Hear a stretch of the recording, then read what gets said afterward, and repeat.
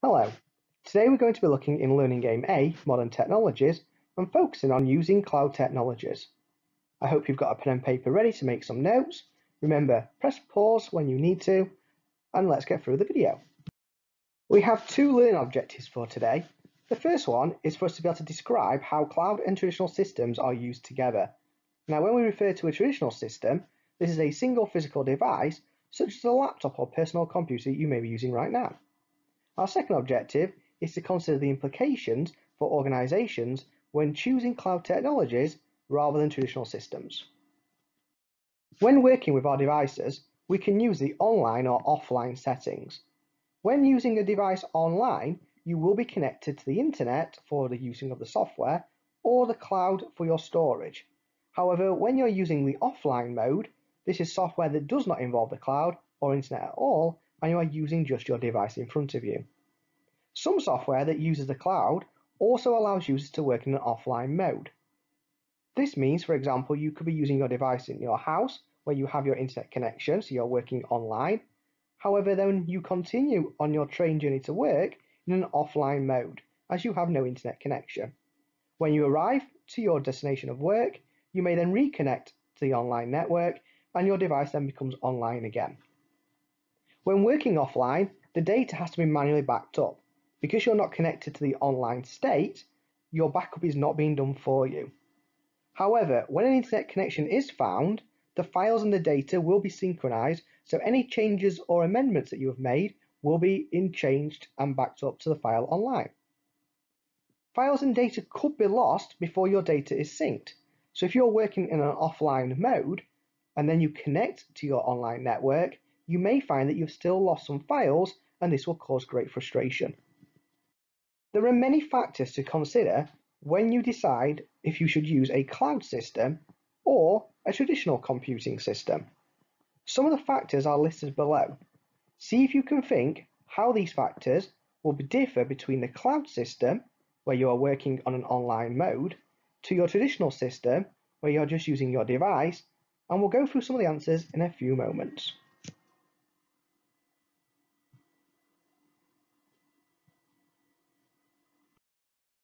Okay, let's take a look at some of the differences between cloud systems and traditional computing systems. Now, in the table, we have got our traditional and cloud separated so you can see the clear differences. The first feature we will analyse is the cost. Now, in a traditional system, where you have your laptops and your personal computers connected together, you may decide to use a server and other hardware such as cabling. This will be a cost that you have to pay for your system to be able to be created. However, when you use cloud systems, you don't have to pay for any of this system hardware because it's all purchased by the company that you are hiring from. For example, if I was to hire storage from Google Drive, this starts around £2 per month for 100 gigabytes of storage and ranges to £10 per month for 1 terabyte of storage. In this fee, I am paying for my renting of the hardware and the maintenance that the third party will be using.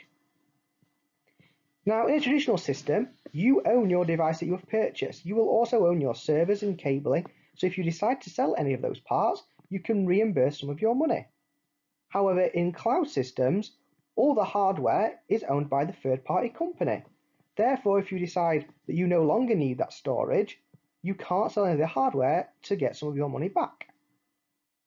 When it comes to security, in a traditional system where you have your own device, you are responsible to making sure that it is safe and secure and your data cannot be seen by unauthorized users.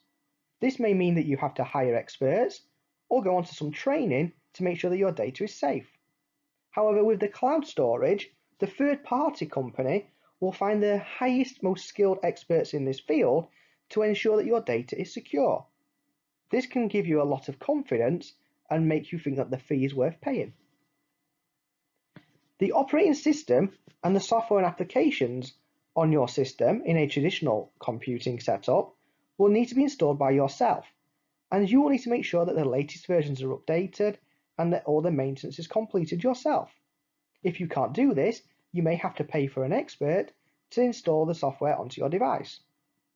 Again, however, in the cloud system, the installing and configuring of the operating system and the new software upgrades will be dealt with by the third party company. This again means that you will not be responsible for this and will give you peace of mind that it's up to date and working correctly. When using cloud technologies, you may come across notifications. Now, notifications are used to make users aware of new information and important actions that they need to take. You may, for example, receive a notification to tell you that your security update is ready to install. You may also receive a notification informing you that you have received a new email, as shown in the example from Tony Green. Can you think about two other notifications that you may receive when using your software or operating system?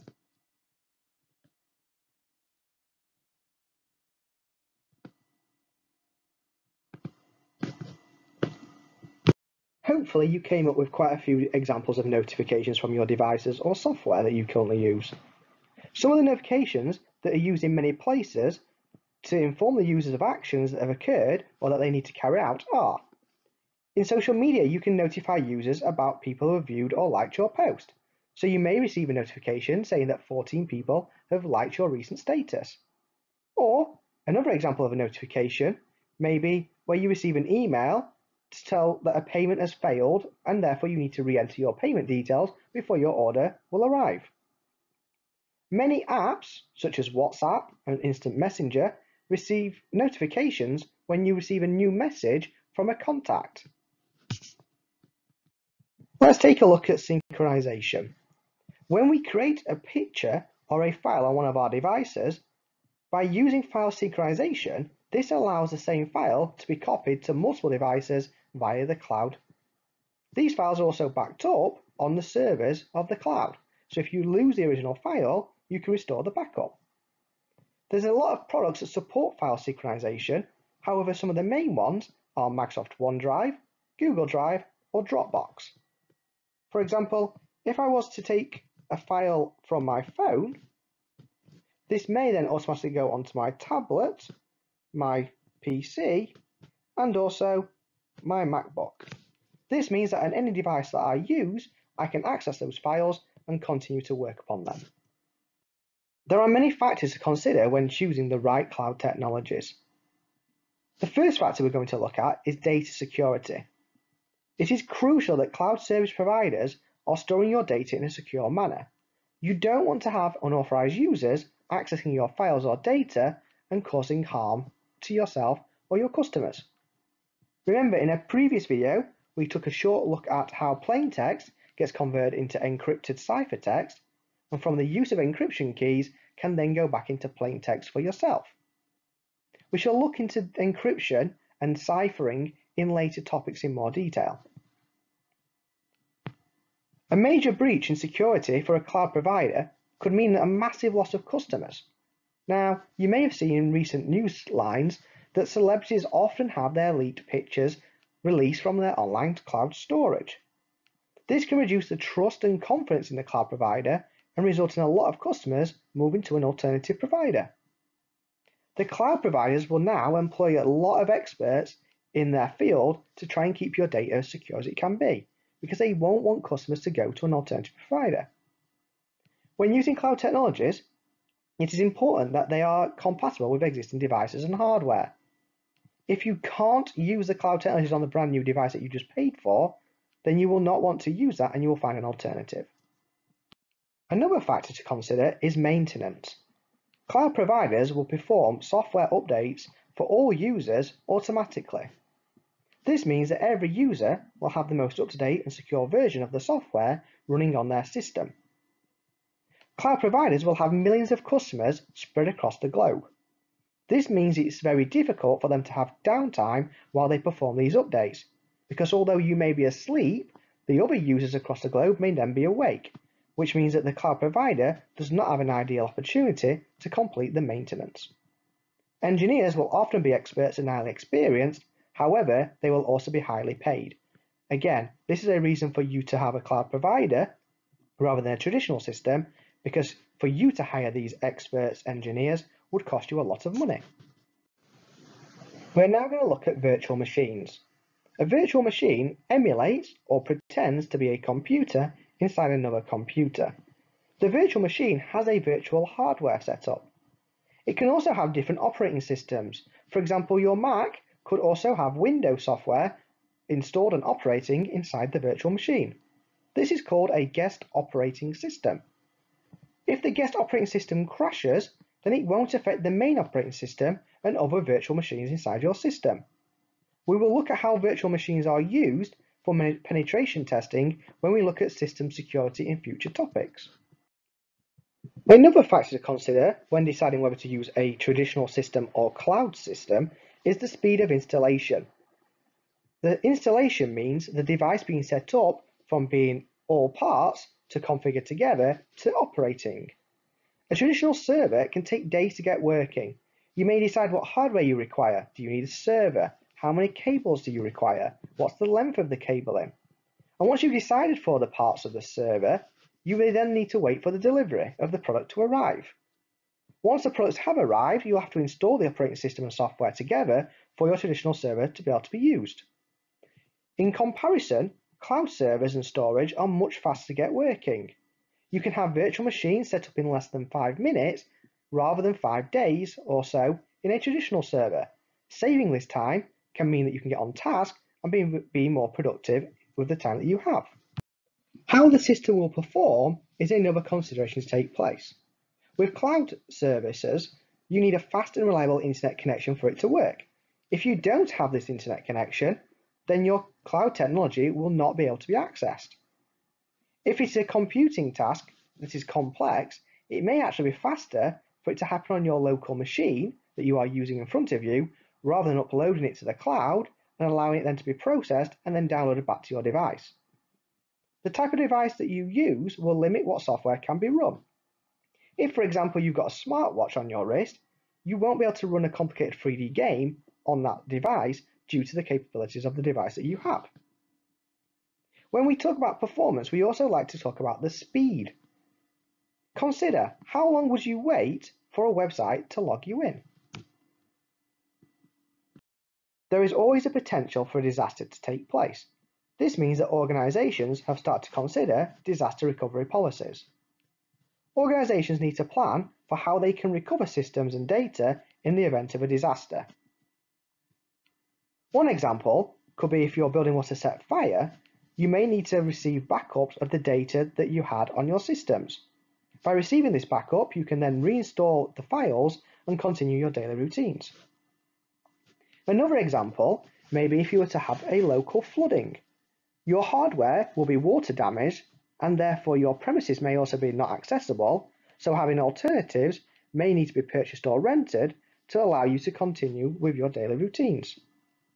By using cloud technologies and cloud software, the data is stored at remote locations across the globe, which means it's easy to reinstall and recover the data in an event of a disaster. There are many disasters that companies need to plan for. For example, you may have a virus or a power cut, or as mentioned previously, there may be a fire or a flood. Can you think of any other disasters that may take place? There are many aspects to consider when creating a disaster recovery policy. We shall continue developing our knowledge of disaster recovery policies in future videos.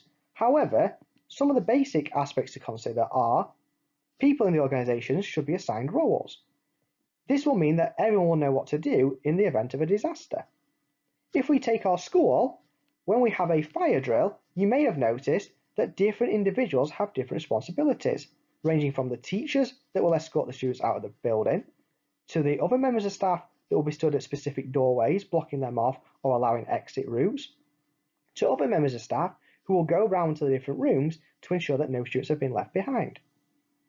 A disaster recovery plan might also consider what a company could do in certain events, such as a fire or a flood.